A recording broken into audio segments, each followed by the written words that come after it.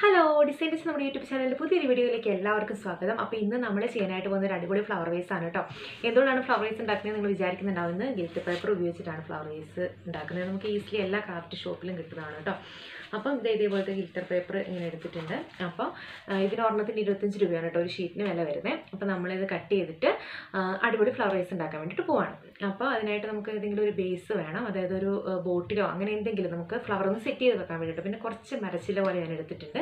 പിന്നെ നമ്മുടെ glue ഗണ്ണും iron ബോക്സിലാണ് ഈ ഫ്ലവർ ഒന്നും ഇങ്ങനെ പൊന്തി വരുന്ന രീതിയിൽ എടുക്കുന്നത്. അപ്പോൾ അതൊക്കെ നമുക്ക് കാണാം. അപ്പോൾ വീഡിയോയിലേക്ക് കിടക്കുന്നതിന് മുമ്പ് നമ്മുടെ ചാനൽ സബ്സ്ക്രൈബ് ചെയ്യാത്തവർക്കും സബ്സ്ക്രൈബ് ചെയ്തിട്ട് നിങ്ങളുടെ ഫ്രണ്ട്സിനും ഫാമിലിക്ക് റിലേറ്റീവ്സിനും ഒക്കെ ഒന്ന് ഷെയർ ചെയ്യും ചെയ്തും കൂടെ കൊടുക്കാം കേട്ടോ. അപ്പോൾ നമുക്ക് ഇതിന്റെ മേക്കിംഗ് പ്രൊസീജിയറിലേക്ക് കിടക്കാം. ഗിൽറ്റർ പേപ്പർ ഞാനിത് ഇങ്ങനെ ഫ്ലവറിന്റെ ഷേപ്പിൽ ഇങ്ങനെ കട്ട് ചെയ്ത് വെച്ചിട്ടുണ്ട്. ജസ്റ്റ് ഒന്ന് വരച്ചിട്ട് ഒന്ന് കട്ട് ചെയ്ത് ചെയ്തെടുക്കേണ്ട മേക്കിംഗ് പ്രൊസീജിയർ മാത്രമേ ഉള്ളൂ കേട്ടോ. അത് ഈസി ആയതുകൊണ്ടാണ് ഞാൻ കാണിക്കാത്തത്. പിന്നെ നമ്മുടെ അയൺ ബോക്സ് വെച്ചിട്ട് വെച്ചിട്ടുണ്ട്. അയൺ ബോക്സ് ഇതാ ഇങ്ങനെ എടുത്തു. എന്നിട്ട് നമ്മൾ ഈ ഫ്ലവറിന്റെ ഗിൽറ്റർ ഉള്ള ഭാഗമാണ് ഇത് ഫ്രണ്ട് പാർട്ടിന്റെ ബാക്കിൽ ഗിൽറ്റർ ഇല്ല. അപ്പോൾ ആ ബാക്ക് പാർട്ട് ഒന്ന് ഇങ്ങനെ അയൺ ബോക്സിൽ ഒന്ന് വെച്ച് കൊടുക്കാം. അപ്പം ഇതിങ്ങനെ പരന്നാണല്ലോ ഇരിക്കുന്നത്. അതൊന്ന് പൊന്തി വരുന്നതായിട്ട് നിങ്ങൾക്ക് കാണാൻ വേണ്ടി പറ്റും. കണ്ടോ? അപ്പോൾ ഇതിങ്ങനെ പൊന്തി വന്നിട്ടുണ്ട്. അപ്പോൾ ഇങ്ങനെ എടുക്കുക. അപ്പോൾ കണ്ടോ? ഇങ്ങനെ ഒരു കുഴി പോലെ വരും. ഇങ്ങനെ ഒന്ന് ഒരു റൗണ്ട് ഷേപ്പിൽ റാ പോലെ ഇങ്ങനെ കാണാൻ വേണ്ടി പറ്റും. അടുത്ത് നമ്മളിങ്ങനെ വെച്ചിട്ട് ഇങ്ങനെ വെക്കുമ്പോഴത്തേക്കും അതിങ്ങനെ ഇങ്ങനെ ഇങ്ങനെ റൗണ്ട് വളയത്തിന്റെ ഷേപ്പിലേക്കായി വരും. ചൂട് കൊണ്ട് ഇസ്തിരി പെട്ടീന്റെ. അപ്പം അങ്ങനെ ഒരു ഷേപ്പിലേക്കാണ് നമുക്ക് ഫ്ലവേഴ്സ് കിട്ടേണ്ടത്. അപ്പോൾ നമ്മളിങ്ങനെ നിരത്തി നിരത്തി ബാക്ക് പാർട്ട് ഇങ്ങനെ വെച്ച് കൊടുക്കുക. അപ്പോൾ അതിങ്ങനെ പെട്ടെന്ന് പൊന്തി വന്നോളും. അതിനനുസരിച്ച് നമ്മൾ ഒന്ന് അയൺ ബോക്സിൽ നിന്ന് മാറ്റി മാറ്റി കൊടുക്കുക. എന്നിട്ട് നമ്മൾ എന്ത് ചെയ്യേണ്ടതെന്ന് വെച്ചാൽ ബീഡ്സും കൂടെ ഒട്ടിച്ചിട്ടാണ് ഫ്ലവർ വൈസ് ചെയ്തെടുക്കാൻ വേണ്ടി പോണേ. നമ്മൾ പെട്ടെന്ന് തന്നെ കുറച്ച് ഫ്ലവേഴ്സൊക്കെ അങ്ങനെ പൊന്തി വന്നിട്ടുണ്ട്. അപ്പോൾ പെട്ടെന്ന് തന്നെ വരുകയും ചെയ്യും. ഗിൽറ്റ് ആയതുകൊണ്ട് കാണാനും നല്ല ഭംഗിയാണ്. അങ്ങനെ പോകത്തൊന്നുമില്ല പെട്ടെന്ന്. നമ്മളെല്ലാം അങ്ങനെ എടുത്തിട്ടുണ്ട്.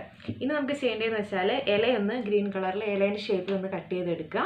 പിന്നെ ഇതിൽ ഒരു ബീഡ്സ് വെച്ച് ഒട്ടിക്കണം. പിന്നെ നമ്മൾ ഫ്ലവർ വേസിലേക്ക് അത് സെറ്റ് ചെയ്യാന്നുള്ളതാണ്. അപ്പോൾ അതെങ്ങനെയാണ് നമുക്ക് കണ്ടു നോക്കാം കേട്ടോ. ഫ്ലവറൊക്കെ നമ്മുടെ അയൺ ബോക്സിൽ വെച്ച് സെറ്റ് ചെയ്തെടുത്തിട്ടുണ്ട്. പിന്നെ നമുക്ക് വേണ്ടത് ഗോൾഡൻ ബീഡ്സ് ആണ്. അതായത് ഇതേപോലത്തെ ഗോൾഡൻ ബീഡ്സ് ഞാൻ എടുത്തിട്ടുണ്ട്. എന്നിട്ട് ഇത് നമ്മൾ ആ ഫ്ലവറിന്റെ സെന്ററിൽ വെച്ച് ഒട്ടിച്ചു കൊടുക്കുകയാണ് ചെയ്യുന്നത്. അപ്പോൾ അതിനായിട്ട് ഞാനിവിടെ ഗോ ഗ്ലൂ ഗണ്ണ് ഓൾറെഡി ചൂടാക്കാൻ വേണ്ടി ഇട്ടിട്ടുണ്ടായിരുന്നു പ്ലഗിൽ കൂട്ടിയിട്ട്. എന്നിട്ട് നമ്മൾ ജസ്റ്റ് ഒന്ന് അപ്ലൈ ചെയ്ത് കൊടുക്കുകയാണ്. എന്നിട്ട് ഇങ്ങനെ ഒട്ടിക്കുക അപ്പോൾ നമ്മുടെ ഫെവിക്കോളിനേക്കാളും പെട്ടെന്ന് ഇത് ഒട്ടും. അത് കാരണം കേട്ടോ അപ്പോൾ ഇങ്ങനെ വരും നമ്മുടെ ഫ്ലവർ കണ്ടോ? നല്ല ഭംഗിയില്ലേ കാണാനായിട്ട്. ഇനി നമ്മൾ എടുക്കേണ്ടതെന്ന് വെച്ചാൽ കുറച്ച് മരത്തിന്റെ ചില്ല ഞാൻ ഓൾറെഡി ഇങ്ങനെ എടുത്ത് വെച്ചായിരുന്നു മരത്തിന്റെ ചില്ല എന്ന് പറയാൻ പറ്റില്ല. ചെറിയ ചുള്ളി കമ്പുകളാണ് കേട്ടോ. അപ്പോൾ ഇതാ ഓൾറെഡി ഞാനിത് പേപ്പറിൽ ചെയ്ത് വെച്ചിരുന്ന ഒരു ഫ്ലവർ വേസാണ് പേപ്പർ ഇങ്ങനെ ചുരുട്ടിയിട്ട് ഇങ്ങനെ ഒട്ടിച്ചൊട്ടിച്ച് കൊടുത്തേക്കാണ്. പിന്നെ അതിന്റെ ഇടയ്ക്ക് ചെറിയ മരത്തിന്റെ കമ്പ് ഇങ്ങനെ ഞാൻ വെച്ചിട്ടുണ്ട്. ഇതിന്റെ ഉള്ളിൽ മണലാണ് നിറച്ച്. എന്നിട്ട് ഇങ്ങനെ കുത്തി കൊടുത്തേക്കാണ്. ഏകരം പോലെ. എന്നിട്ട് നമ്മൾ ചെയ്ത ഒരു ഫ്ലവർ ഞാൻ ഓൾറെഡി ഇവിടെ ഇങ്ങനെ ജസ്റ്റ് ഒന്ന് ഒട്ടിച്ച് കൊടുത്തിട്ടുണ്ടായിരുന്നു. ഇനി നമ്മൾ അവിടെ ഇവിടെയൊക്കെ ഇങ്ങനെ ഗം തേച്ച് കൊടുക്കുക ചില്ലുകളിലൊക്കെ. എന്നിട്ട് നമ്മൾ ആ ചെയ്ത് വെച്ചിരിക്കുന്ന ഫ്ലവർ ഉണ്ടല്ലോ അത് ഒട്ടിച്ച് കൊടുക്കുകയാണ് ചെയ്യേണ്ടത്. അപ്പോൾ ഞാനിങ്ങനെ ഒട്ടിച്ച് കൊടുക്കുന്നുണ്ട്. ഇതാ ഒട്ടിച്ച് കൊടുക്കുമ്പോൾ നല്ല സ്റ്റിക്കായിട്ട് അവിടെ ഇരുന്നോളും. ഇതാ ഞാൻ ഒട്ടിച്ച് കൊടുക്കാം. അപ്പം ഇതിങ്ങനെ ഫുള്ള് നമ്മൾ ഇങ്ങനെ ഒട്ടിച്ച് കൊടുക്കണം എവിടെയൊക്കെയാണോ വേണ്ടതെന്ന് വെച്ചാൽ അതേപോലെ ലീഫും ലീഫ് ഞാൻ കട്ട് ചെയ്തിട്ടില്ല. ഇതിങ്ങനെ ഒന്ന് ഫുള്ള് ഞാൻ ഒന്ന് ഒട്ടിച്ച് കഴിഞ്ഞിട്ട് ഇനി നമുക്ക് ലീഫ് ഒട്ടിക്കാം കേട്ടോ. ഗിൽറ്റർ പേപ്പറിൽ ഒന്ന് ഇലയിന്റെ ഷേപ്പിൽ കട്ട് ചെയ്തെടുത്തതിന് ശേഷം ജസ്റ്റ് ഒന്ന് സെറ്റ് ചെയ്ത് വെച്ചിട്ടുണ്ട്. ജസ്റ്റ് നിങ്ങളെ കൂടെ ഒന്ന് കാണിച്ചു തരാം കേട്ടോ അപ്പോൾ ഞാൻ ഗിൽറ്റർ പേപ്പർ നമുക്ക് രണ്ടെണ്ണമാണ് കിട്ടുന്നത്. ഒന്ന് ബാക്ക് സൈഡിൽ പശയുള്ളതും കിട്ടും ഇല്ലാത്തതും കിട്ടും. അപ്പോൾ ഫ്ലവർ നമ്മൾ ചെയ്തെടുത്തിരിക്കുന്ന പശ ഇല്ലാത്ത മോഡലാണ് എങ്കിൽ മാത്രമേ നമ്മൾ അയൺ ബോക്സിൽ വെക്കുമ്പോഴത്തേക്ക് അതിങ്ങനെ പൊന്തി വരത്തുള്ളൂ.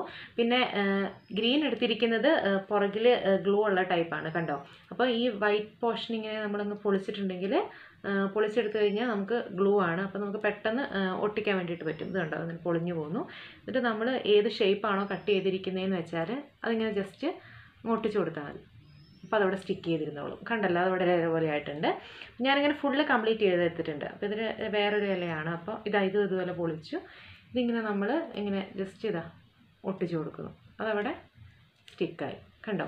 അപ്പോൾ ഈസിയാണ് നമുക്ക് ക്രിസ്മസ് കാർഡിലോ എന്തിൽ വേണമെങ്കിലും ഏത് രൂപത്തിൽ ഏത് ഷേപ്പിൽ വേണമെങ്കിലും കട്ട് ചെയ്തിട്ട് ഒട്ടിക്കാൻ പറ്റും. ഇങ്ങനത്തെ ഗ്ലൂ ഉള്ള ഗ്ലിറ്റർ പേപ്പർ ആണെങ്കിൽ അപ്പോൾ ഞാൻ കാണിച്ചു തരാം കേട്ടോ ഫൈനലി ഉള്ള ലുക്ക് ഇതാണ് നമ്മുടെ ഫൈനലി ഉള്ള ലുക്ക് എങ്ങനെയുണ്ട്? കൊള്ളാമല്ലേ അടിപൊളിയായിട്ടില്ലേ? നല്ല ഭംഗിയായിട്ടുണ്ട്. നല്ല ഭംഗിയാണ്. കുറേ നാൾ ഇരിക്കുകയും ചെയ്യും. പേപ്പറൊന്നും അല്ലല്ലോ. അത് കാരണം ഒത്തിരി നാൾ ഇരിക്കുകയും ചെയ്യും. നല്ല ഭംഗിയാണ് കാണാൻ അപ്പോൾ എല്ലാവർക്കും ഇഷ്ടമായി എന്നാണ് വിചാരിക്കുന്നത് അപ്പോൾ നമ്മുടെ ചാനൽ സബ്സ്ക്രൈബ് ചെയ്യാൻ മറക്കണ്ട കേട്ടോ അപ്പോൾ പുതിയൊരു ഐറ്റം ആയിട്ട് നമുക്ക് വീണ്ടും കാണാം. അതുവരേക്കും ടേക്ക് കെയർ